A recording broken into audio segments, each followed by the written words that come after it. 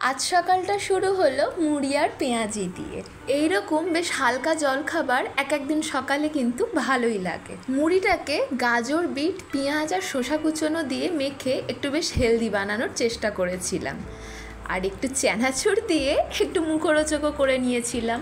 দুটো মাঝারি সাইজের পেঁয়াজ এইভাবে কেটে নিয়েছি পেঁয়াজির জন্য। পেঁয়াজিতে পেঁয়াজ আমি যতটা দিই, তার অর্ধেক বেসন দিই। দেখো, যতটা আমি বেসন নিয়েছি, তার ডবল কিন্তু পেঁয়াজ রয়েছে। এবারে পেঁয়াজের সাথে বেসনগুলোকে জল ছাড়াই একটু মেখে মেখে নেব। পেঁয়াজি বানানোর সময় আমি এরকম জল ছাড়াই কিন্তু পেঁয়াজি মাখি। তাতে পেঁয়াজি কিন্তু খুব মুচমুচে খেতে হয়। এই যে দেখো, বেসনের সাথে পেঁয়াজগুলোকে মাখতে মাখতে বেশ অনেকটা গায়ে গায়ে বেসনগুলো পেঁয়াজের লেগে গেছে।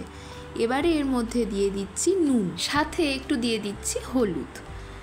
একটুখানি ধনেপাতা কুচনো দিচ্ছি আর লাল লাল কাঁচা লঙ্কা। এইভাবে সব কিছুটাকে একসাথে ভালো করে মাখিয়ে নেব। নুন আর পেঁয়াজ থেকে একটু একটু জল বেরোবে, তাতেই সুন্দরভাবে সমস্ত জিনিসটা মেখে যাবে। এই রকম অবস্থায় আমি একটু রেখে দেবো, তাতে আরও ভালো করে সুন্দরভাবে জিনিসটা মেখে যাবে। কড়াইতে রিফাইন্ড অয়েল গরম হতে দিলাম। এবারে তেলটা গরম হলেই একটু একটু করে, ছোট ছোট করে পেঁয়াজিগুলো ছাড়তে থাকব। পেঁয়াজিগুলো আমি খুব বেশি বড় করি না, ছোট ছোট করে পেঁয়াজি বানাই। তাতে হয়তো সময় লাগে বেশি, কিন্তু খেতে ভালো হয়। সুন্দরভাবে ভাজাও হয় আর ভেতর থেকেও কাঁচা থাকে না। এইভাবে অল্প অল্প করে আমি পেঁয়াজিগুলো ছেড়ে দিচ্ছি, তবে গ্যাসের ফ্লেম কিন্তু একদম লোতে রেখে দিয়েছি। এইভাবে লো ফ্লেমেই আমি পেঁয়াজিগুলো ভাজবো। পেঁয়াজিগুলোকে যখন এরকম ওলট পালট করছি, তখন একটু বেশ চেপে চেপে দিচ্ছি। যাতে পেঁয়াজির ভেতরটা কাঁচা না থাকে। ভালো করে চেপে দিলে সুন্দরভাবে পেঁয়াজিগুলো কিন্তু ভাজা হয়ে যায়। এইভাবে লো ফ্লেমে ভাজতে ভাজতে দুটো দেখো ভাজা হয়ে গেছে। প্রথম দিকে দিয়েছিলাম বলে। তো দুটোকে তুলে নিচ্ছি।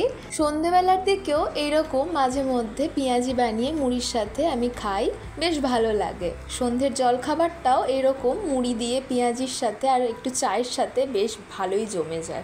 মাঝারি সাইজের দুটো পেঁয়াজ কেটেছিলাম। তাতে বেশ ছ সাতটা মতো পেঁয়াজি হয়েছিল। পেঁয়াজির পেঁয়াজগুলো কাটবার সময় আমি সরু সরু করে গাজর, বিট, শসা আর পেঁয়াজ কুচিয়ে রেখেছিলাম। তো পেঁয়াজি প্রায় ভাজা হয়েই গেছে, তাড়াতাড়িও ভাজা হয়ে গেছে পেঁয়াজিগুলো, কারণ দুটো করে পেঁয়াজি তুলছিলাম, তার ফাঁকে ফাঁকে আবার পেঁয়াজি ছাড়ছিলাম। এইভাবে কড়াতে তাড়াতাড়ি পেঁয়াজিগুলো ভাজা হয়ে গেছে। পেঁয়াজিগুলোতে অল্প করে একটু বিট নুন ছিটিয়ে দিচ্ছি উপর থেকে, তাতে বেশ মুখ মুখরোচক লাগে। এবারে মুড়িটা মেখে নেব। এই যে বাটিতে মুড়ি ঢালা হয়ে গেছে, এবারে এতে দিয়ে দিচ্ছি বেশ অনেকটা মতো ঝাঁঝ ঝাঁঝ সর্ষের তেল।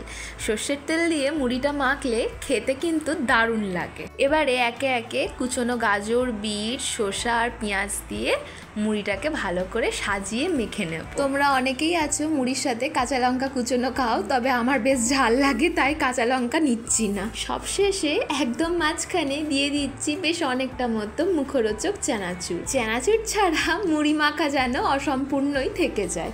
আজকের সকালের ব্রেকফাস্টের আইডিয়াটা তোমাদের কার কার কেমন লাগল অবশ্যই কমেন্টে জানিও। ভালো লাগলে তোমরাও বাড়িতে একদিন ট্রাই করে দেখতে পারো। রেজ অফ লাইফ চ্যানেলটিকে সাবস্ক্রাইব করো লাইক করো কমেন্ট করো শেয়ার করো।